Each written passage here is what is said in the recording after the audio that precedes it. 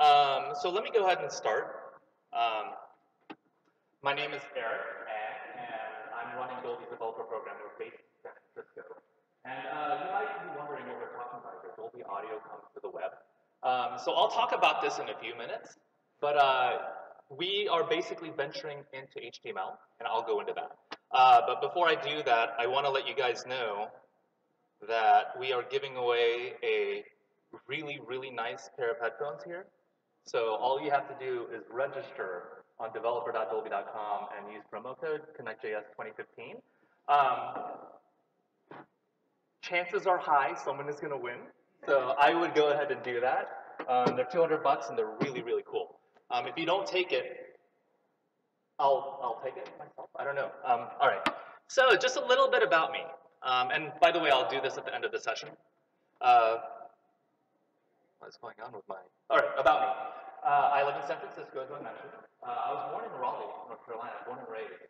Um, I like to point this out, especially for this audience, Do you guys actually know where North Carolina is. Uh, if I ask a question in California, they're like, what's North Carolina? Uh, I am a new dad. I'm having number two uh, coming up, and as you can see, my kid over there is drinking a beer, kinda.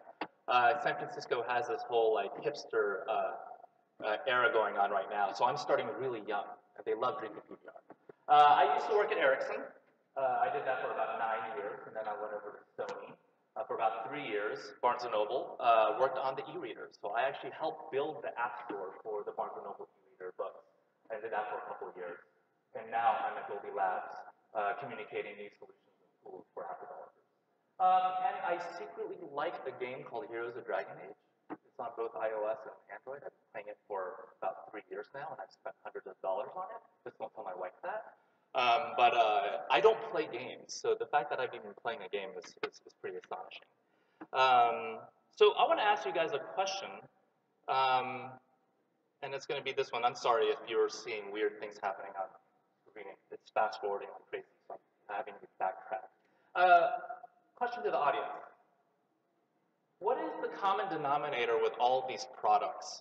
And I guys, I guys want you to think about me when you answer this question, because whoever answers it right, I do have a $25 gift card that I'm giving away.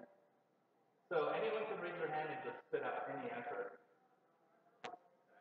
Sound? Yeah. Um, specifically Sony sound. Uh, Dolby sound, I'm sorry. This is yours.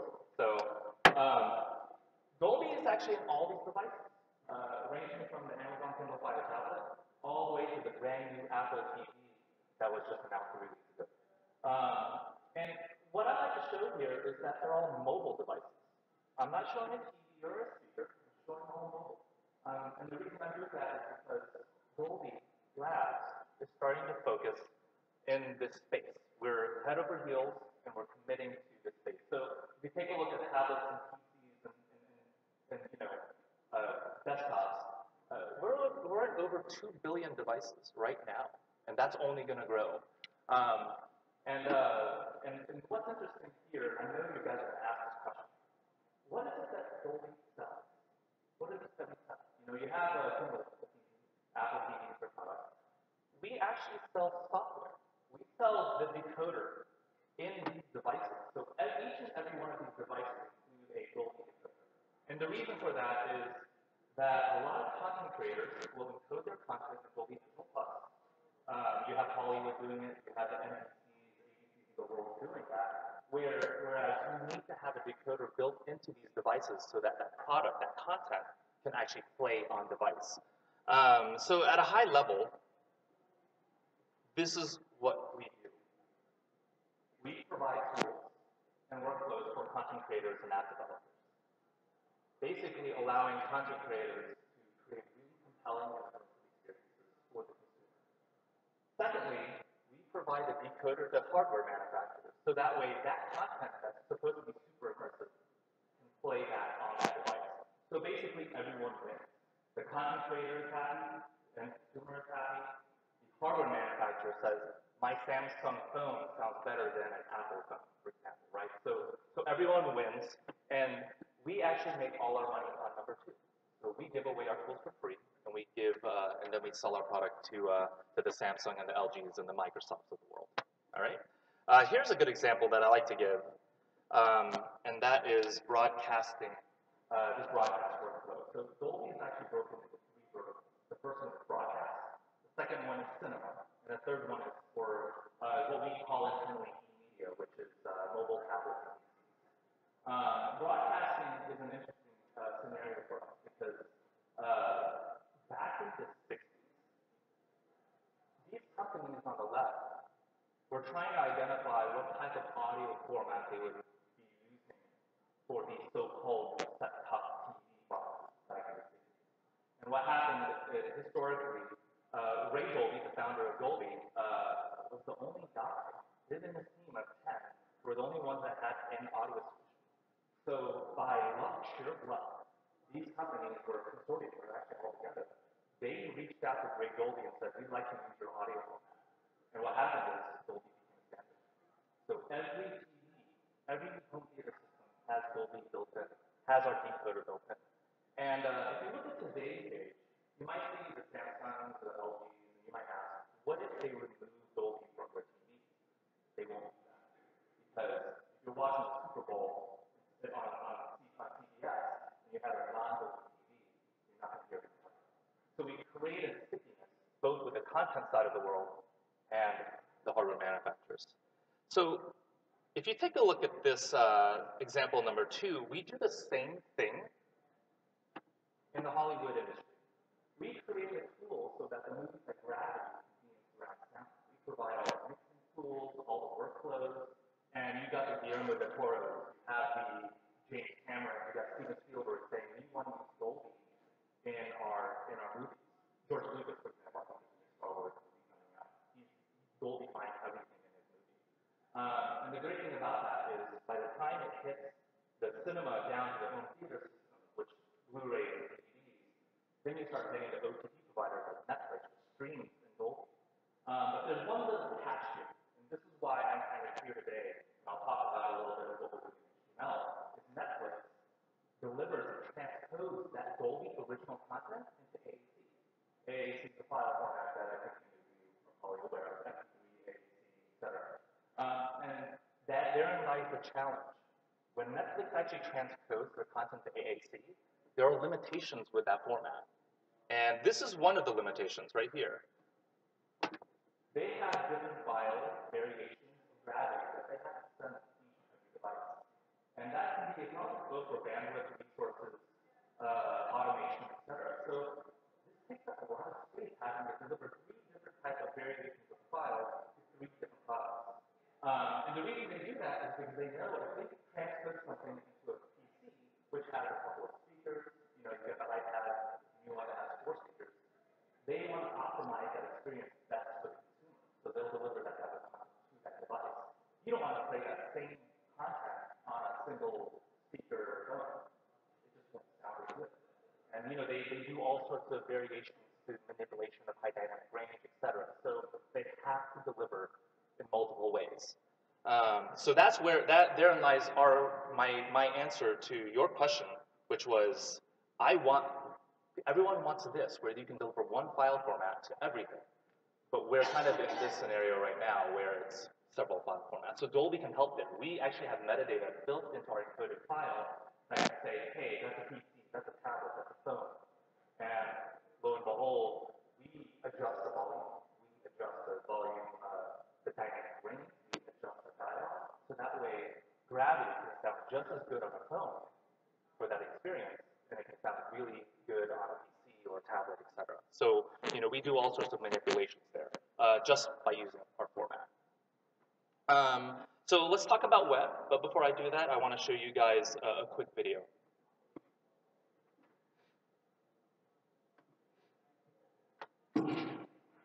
The only way to make transformative is to understand how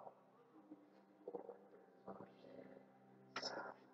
And then incorporate that into technology. Sound is amazing in the sense that it can work on so many different levels.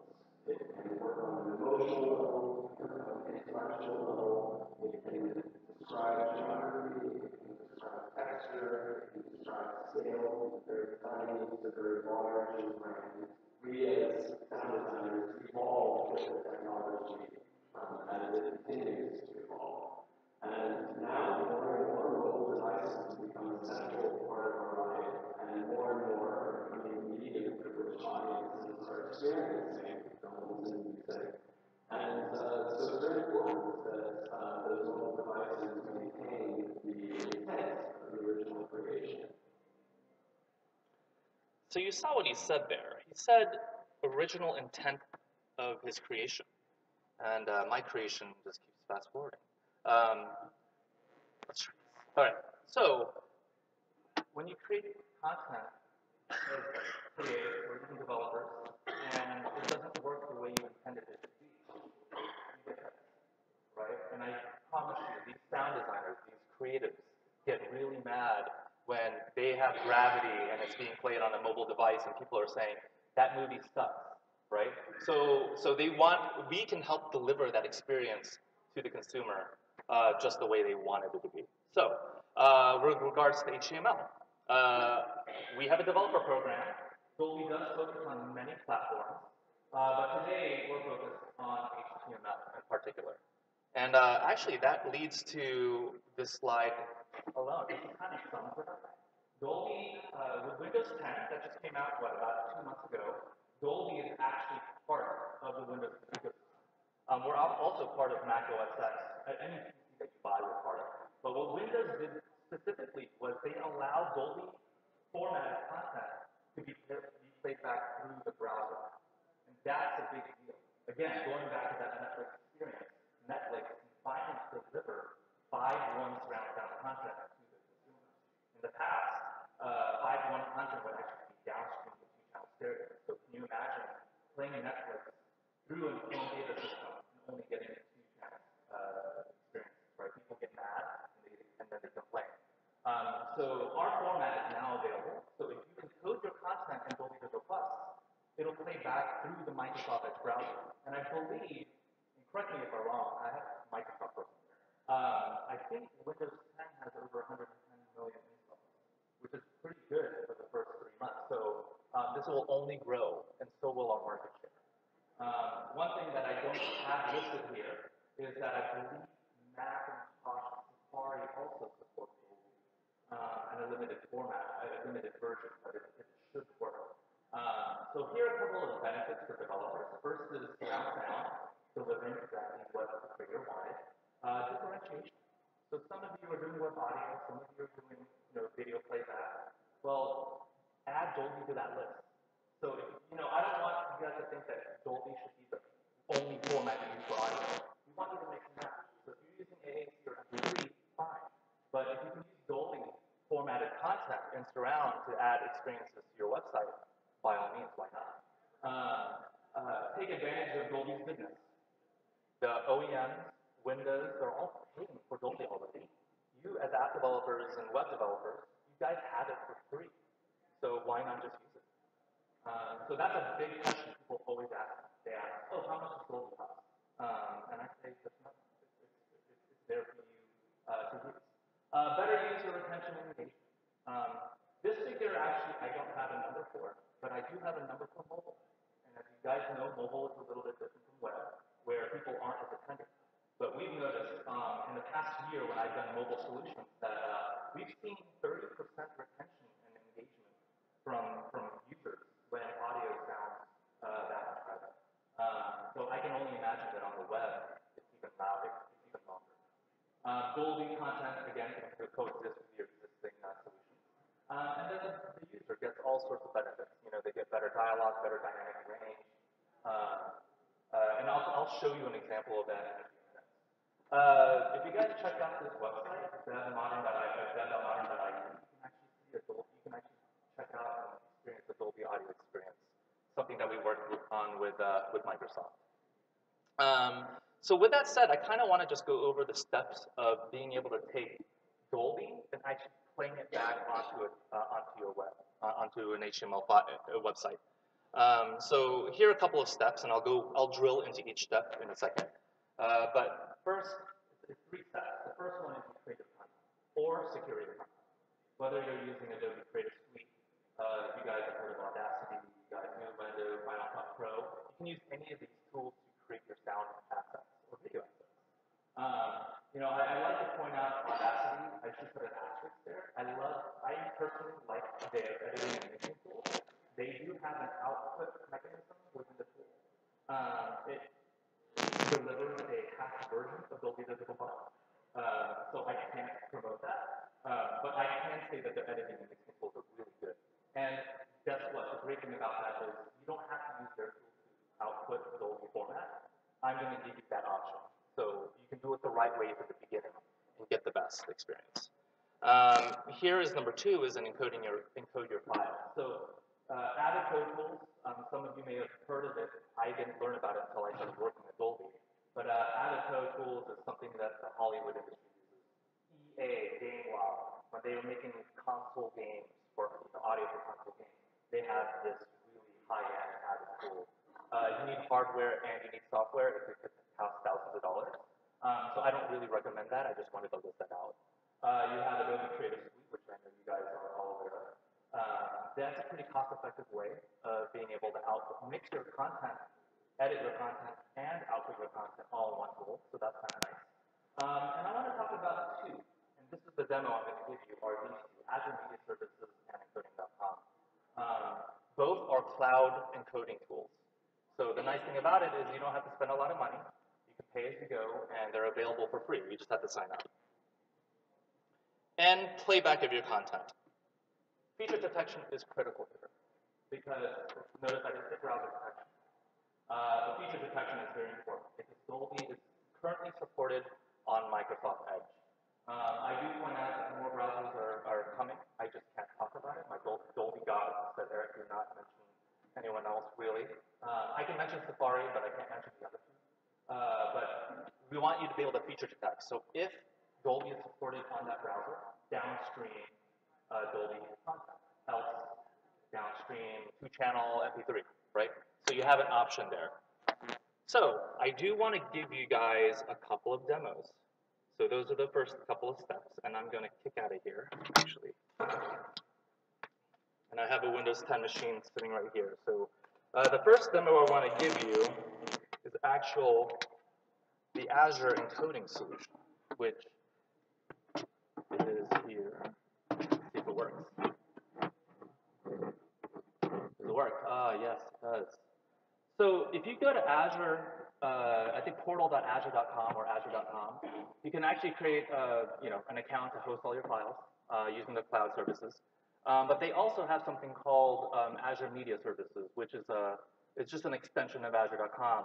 It allows you to actually encode your content. So, you know, people use Azure to transcode a lot of their files in, in mass scale. Um, so, but the problem with Azure is that you actually have to build an app to encode your content. So what we did was I went ahead and created an app for you guys. Uh, you actually can find that on Azure, uh, Azure Marketplace in a couple of weeks. And this is the app. And essentially what you can do is you can drag and drop or include a file. And what we can do is it'll automatically encode that file for you in the Dolby format. So there's, it's really easy.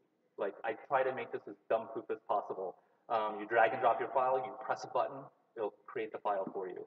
And the great thing about the creation of the file is, again, when it's decoded on the device for playback, it's going to sound pretty compelling. It's going to sound different than what you're used to hearing. And again, I'll give you an example of that. So, for example, I have uploaded a file. I don't trust the internet here, so I already had a converted file here. So all you have to do is click the download button, and you have the file. All right. Um, so I'm going to unplug this and show you another tool, which is encoding.com.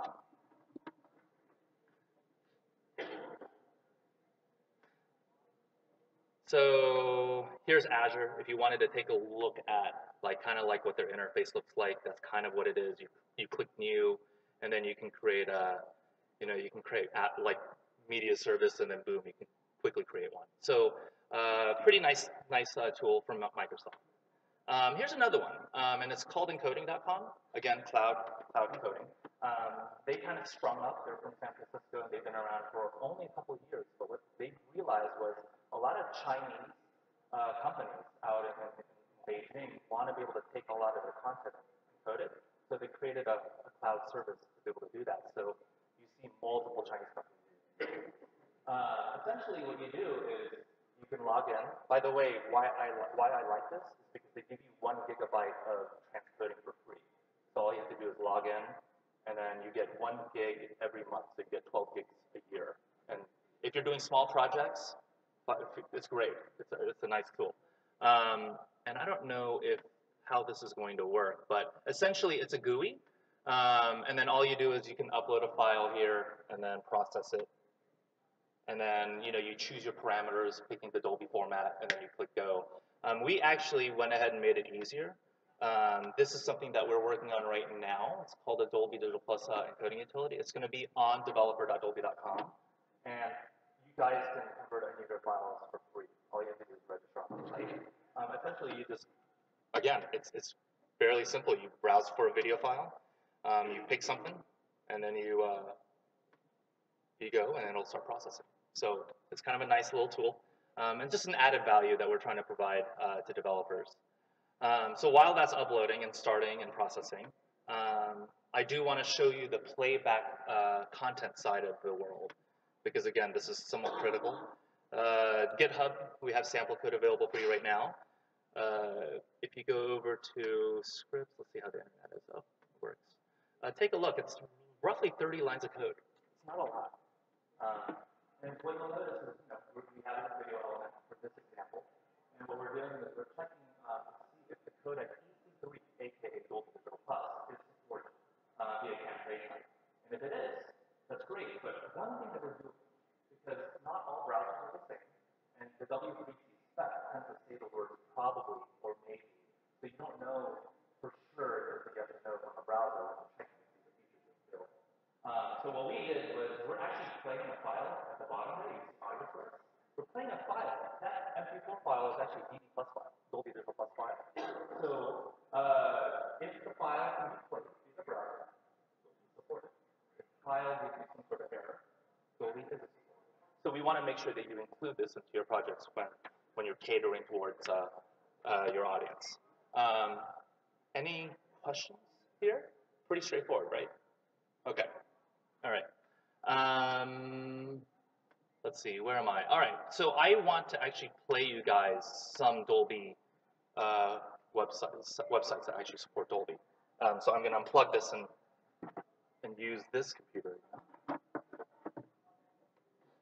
And this is a game that I think you guys might think is kind of entertaining. Go to the website. It's called Feisty Galaxies.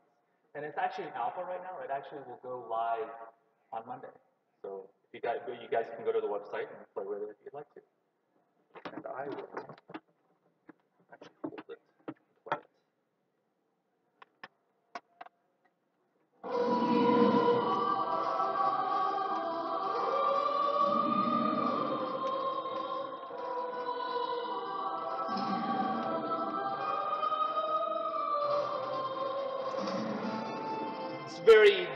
Dolby-esque, movie theater-like, right? Very Star Trek-y.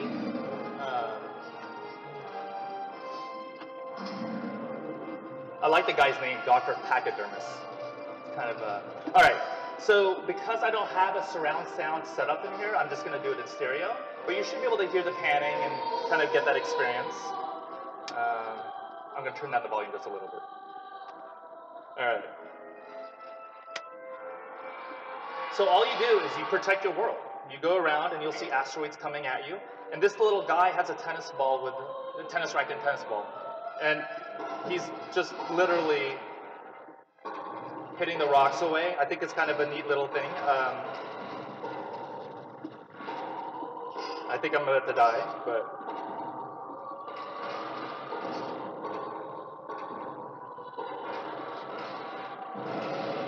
And if you were to play this in surround sound, you would get the whole experience.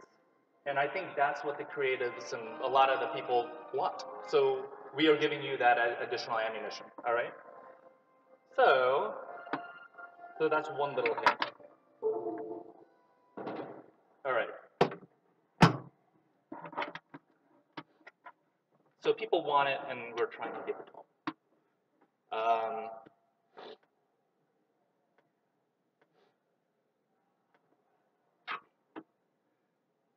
So I thought that was really cool. Um, all right, so really just a summary, I mean, I'm already, it's already 25, 30 minutes into it, is the fact that Dolby Audio is now available uh, for everyone, for the web. Um, you know, again, consistent delivery of audio, better dialogue, better volume management, differentiation.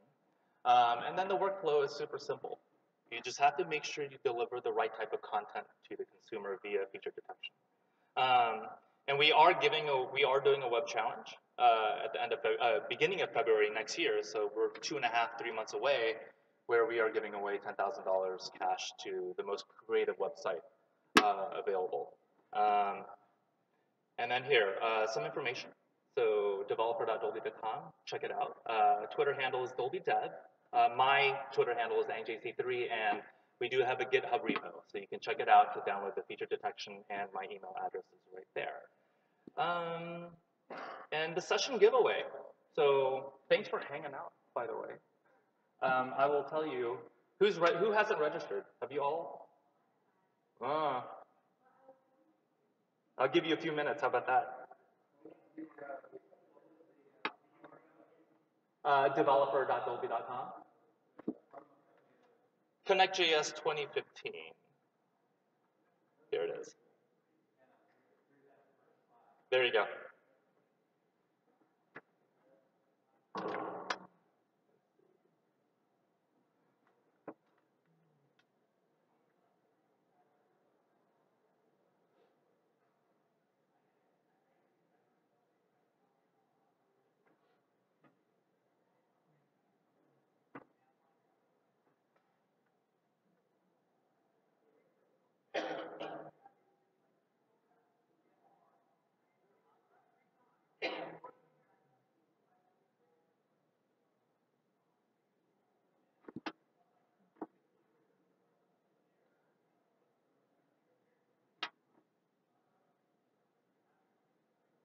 All of you guys are concentrating. That's great.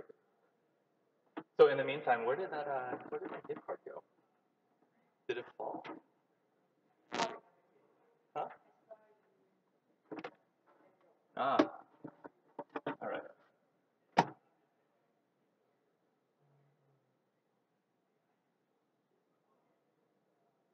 By the way, I'm acting as a fake evangelist, everyone. I have a I have an evangelist that was just hired. I just hired her this week, so he couldn't make it. Um, so I was, uh, I came in and talked.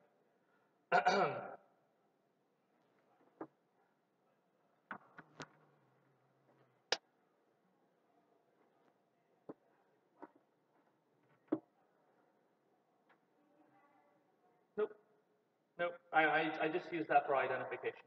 Um, the more, more people that sign up, the more uh, reason I should be here uh, next year. Oh, Doris, you did it. it's okay. It, it's okay. I can see uh, the folks that uh, registered on the 16th.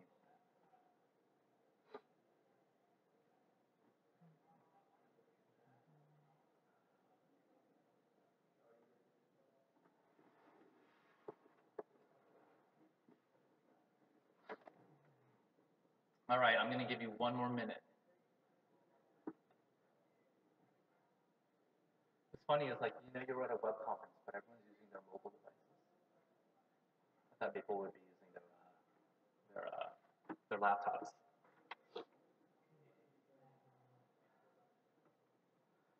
So also, just to let you know, um, we do have uh, happy hour at uh, 5.30, 6 o'clock. Um, so Dolby is sponsoring that happy hour. So if you guys aren't going home to beat traffic, come hang out at, uh, what is it, Jack and Jocks and Jill's Grill.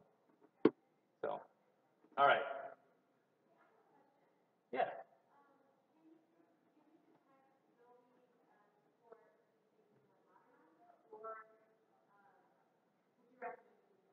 Um, you can use either one actually. Modernizr, we're working with them, so they're going to include our stuff into the into the library. Yeah, so you can do that as well. Um, and then we're thinking of creating a jQuery plugin uh, just to make it a little bit easier for people to feature. All right. Okay, so give me 30 seconds here, and I'll tell you who the winner is. For those, it's all based on internet. I have to like log into my CMS and I actually run this uh, random generator to find out who wins. Luckily, it's only like seven of you, five of you. Um,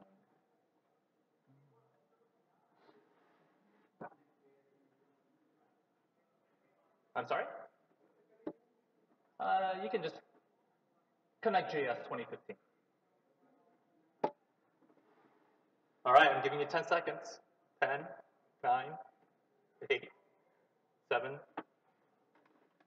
6, 5, 4, 3, 2, 1. All right, okay. Um, because I don't know any of you guys by name, this is it. I am the winner is Will Giddens. okay. Oh, you're gonna love these. They're really, really nice. And uh, of all, what are the chances of friends winning, winning the prizes, right? All right. Well, thank you guys for your time and attention, and enjoy the rest of the show. So, and if you have questions, let me know. One thing I noticed people aren't asking is like, what about mobile, or you know, or or what's gonna?